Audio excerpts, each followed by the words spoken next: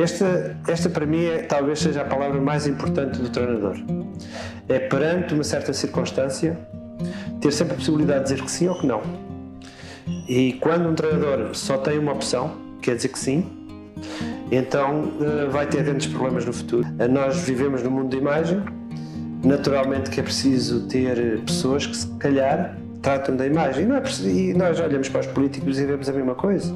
Os políticos sabem isso perfeitamente. Mourinho, Rui Vitória, o Zé Peseiro, todos eles passaram por, por aulas em que nós nos, eh, nos referenciávamos muito. Vamos ver o que é que acontece, não vale a pena estarmos aqui a inventar o que é que acontece uhum. se nós temos aqui um mecanismo que nos pode dizer assim: isto aconteceu. E, e aquilo que o futebol tem de grandiosidade é o percurso. Porque os resultados e os sucessos esquecem-se em 24 horas.